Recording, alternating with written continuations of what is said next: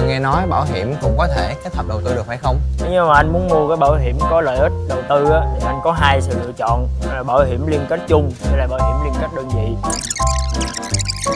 tất cả thông tin là nằm trong này anh cứ tìm hiểu hả sao thấy giống nhau quá vậy Chào mừng quý khách đến với phòng chiều lòng của Techcombank, nơi chiều lòng mọi thắc mắc về bảo hiểm. Tưởng là giống, nhưng không hẳn là giống đâu anh ạ. À. Để em giải thích kỹ hơn giúp anh nha.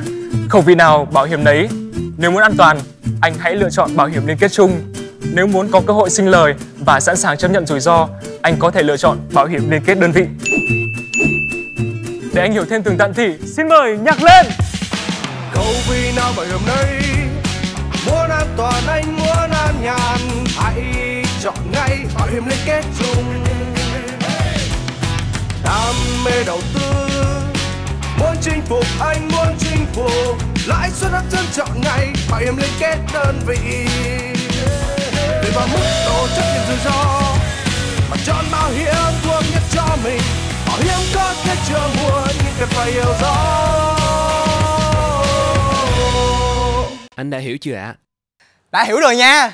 Bảo hiểm có thể chưa mua nhưng phải hiểu.